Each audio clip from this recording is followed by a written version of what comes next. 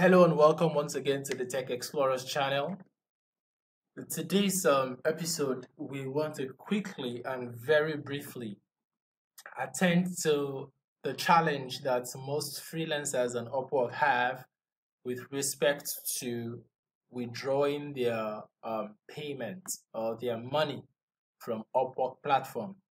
A number of persons have reached out to me asking how can they avert these charges that they are charged on Upwork whenever they want to withdraw their money because I have been privileged to withdraw a couple of times from Upwork without incurring any charge. All right. So today in this recording, I'll be showing you exactly how I do that. Now join me as we go right into the business of the day. If you want to withdraw your money from Upwork, I do not recommend immediate withdrawal because immediate withdrawal will always, and I mean always incur charges for you. So what do you want to do? Head over to your settings by clicking on the image here, that is your profile, and click on settings.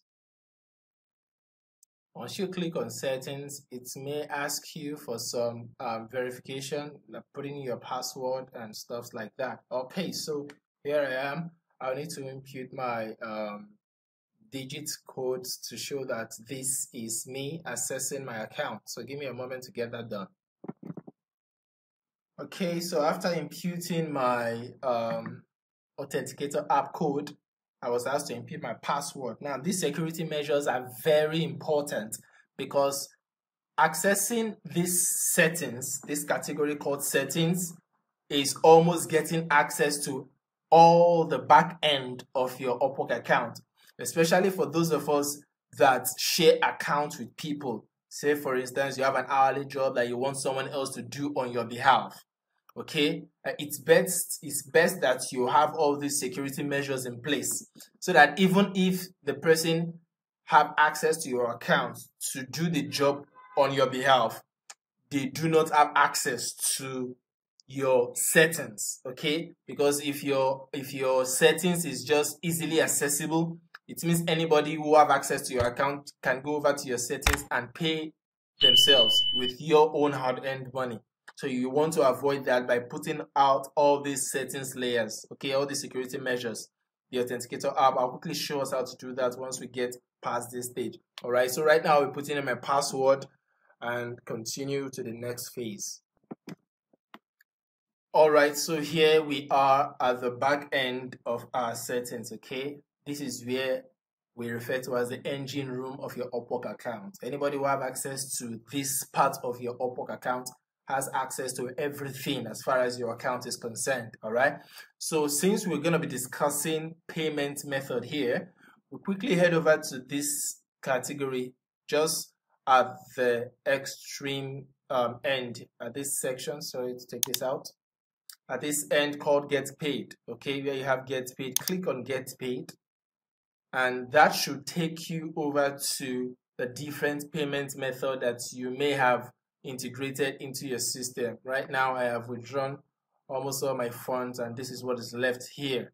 Okay, so what I want to recommend is that whenever you want to make payments or whenever you want to withdraw from Upwork, do not wait until the very day you want to make that withdrawal. Usually, what I recommend students or or uh, people reach out to me to do whenever they want to withdraw their money from Upwork is to position themselves as a salary earner.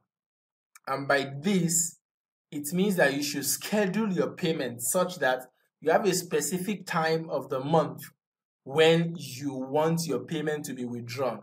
So that once you set that up, whether you're sleeping at that exact time, Upwork will initiate the transfer on your behalf. That is the secret to withdrawing on Upwork without getting charged. So what do I mean? Right now, let's assume I want to withdraw this $119.21. If I click on get paid now, Upwork will take me through the process. In fact, if I click on get paid now, it would ask me, uh, telling me that I will be charged, you see this, I'll be charged $2 for this transaction.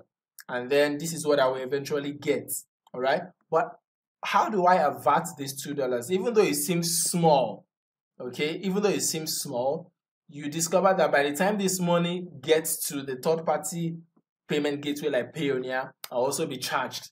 And that is how charges continues to roll out from this little fund that I'm trying to withdraw. So in order to avert this, I'll cancel this. What you should do instead is for those of us who have third party payment gateway like Payoneer, PayPal, Geegpay, and TransferWise, and the rest of them, you should already have the details of these payment gateways intact. All right. And then head over to edit schedule because what you want to do is to schedule your withdrawal. All right. You want to schedule your withdrawal. And to do that, you come over to this section where you have edit schedule. All right. Now you schedule when you want your payment to be done. Usually, you can either schedule on quarterly basis, monthly basis, twice per month, or weekly. Now, if you want the payment to be done immediately, say you need it probably tomorrow or you need it uh, next week per se, you just have to look at the closest date possible. But of course, if it's an emergency, you can go ahead and incur the charge and use the option get paid now and you get your money, all right?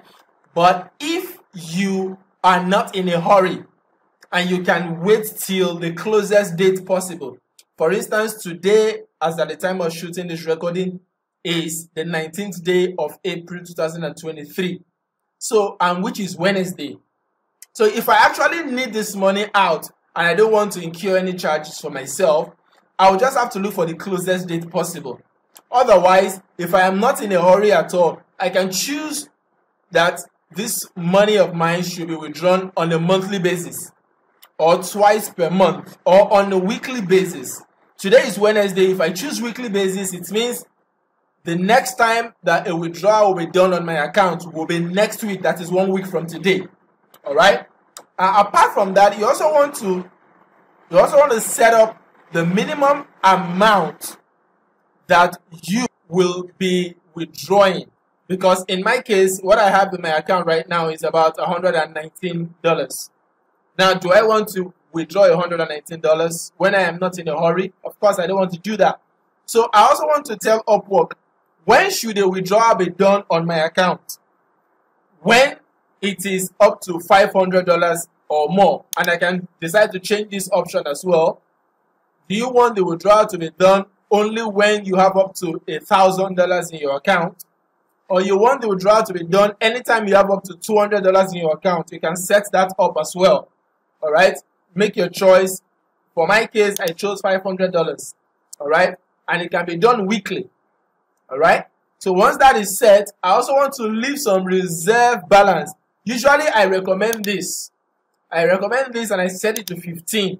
The reason is because sometimes after withdrawing your fund, you may run out of Connect and you want to buy Connect to, to, to be able to apply for more jobs that will earn you more money. But if you withdraw everything out of your Upwork account, the only way to buy Connect will then be to link your card. And sometimes your card may be declined. So you don't want to take that chances. All right. So I usually recommend that you leave some token, at least 15 or maybe less for those of you, you know what works for you. Just use your discretion in this regard. All right. But leave some residual income. Leave some reserve balance so that you could use it to purchase Connect whenever you want to. All right. Or whenever you run out of Connect. Once all these are done, the next thing you want to do is to click on Save Changes. Mind you, this would only be applicable if you have linked a preferred withdrawal method. And I'll show us quickly how to do that. So I'll save this quickly and you will see a notification stating that the next time I will be entitled for payment is next on April the 26th. Remember I said today is April the 19th. All right. So if at all a payment will be done based on what I have just set up, it will be on the 26th of April. And it will only happen if my balance, okay, my available balance is up to $500. Okay. And I have already chosen a preferred payment method. Now, if you do not have a preferred payment method set up, this is where you want to quickly do that. Come down to withdrawal method and click on add payment, okay, add method. And you have a series of different payment options here. You can use your PayPal. You simply set it up and once you do that, uh, there is a recording on my channel. You can just search through the channel or I'll drop the link to some of this recording right on this um, description of this video. All right so you can look around that to see how this can be done. All right in my case i use payoneer. So in your case if your payoneer has not been linked just under paypal you'll find payoneer. All right or if you want if you're in nigeria like me and you want the money from upwork to be converted directly to naira and sent to your naira account which i don't recommend because the money will be converted with the cbn rate and you will be receiving less compared to the person who transfers this money to their domiciliary account and goes to the black market to change that money. They will be receiving more. All right, so I don't recommend this method, but if you want that, you can go ahead and use this method. Just click on setup, and that will be you'll be taken through the process. You can also use wire transfer for USD, okay, or you use the direct to US bank account. All right, this is the preferable option for those who don't have PayPal or Payoneer account. All right. Uh, if you have issues creating a PayPal or Payoneer account, you can either check the description below to know how to go about that, or reach out to me with the contact details right on that option.